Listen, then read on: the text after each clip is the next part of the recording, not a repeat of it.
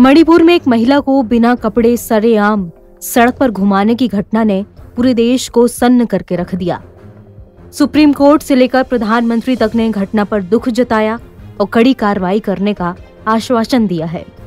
Supreme court ने कहा कि अगर सरकार कुछ नहीं करती तो हम ही इस मामले में एक्शन लेंगे। उधर पीएम मोदी ने कहा कि दोषियों को किसी हाल में बख्शा नहीं जाएगा, जिसके बाद इसमें मुख्य आरोपी कुरियम हीरो दास को गिरफ़्तार कर लिया गया है। जिसकी जानकारी राष्ट्रीय महिला आयोग की अध्यक्ष ने दी है। ढाई महीने हो गए मैम इस घटना को। अब जाकर ये सारा मामला सोशल मीडिया पर या तमाम माध्यमों से बाहर है।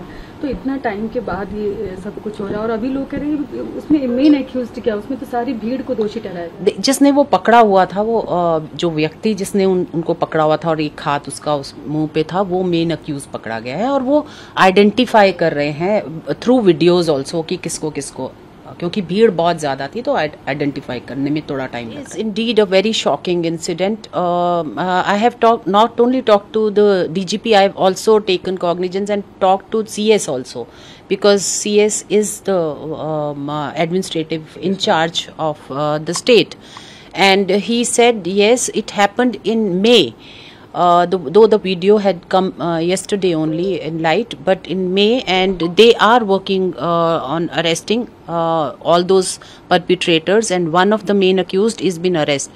So I stressed on giving me report uh, within 24 hours, and they said that they are sending in 24 hours also we are writing to the twitter that how they uh, circulated uh, they allowed to circulate that video of women who without clothes on the twitter so we are giving a notice to twitter also ये दरिंदगी 4 मई की बताई जा रही है जिसका video 19 जुलाई की रात से इंटरनेट पर वायरल हो रहा है जिसे देखकर हर कोई सन्न रह गया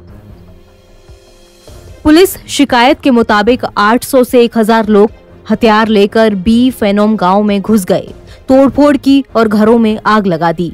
महिला के साथ दरिंदगी करने वाले तमाम लोग मैतेई समुदाय के बताए गए हैं।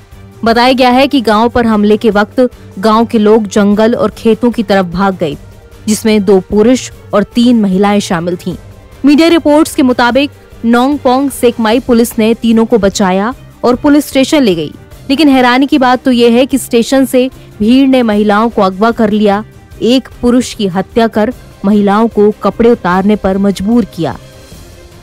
21 साल की युवती के साथ गैंगरेप किया और उसे बचाने गए 19 साल के भाई की हत्या कर दी गई। वीडियो में दिख रहे घटना के दोषियों को पकड़ने के लिए बारह टीमें लगाई गई हैं, जिसमें मुख्य आरोपी पकड़ा जा चुका है। एनबीटी ऑनलाइन की रिपोर्ट।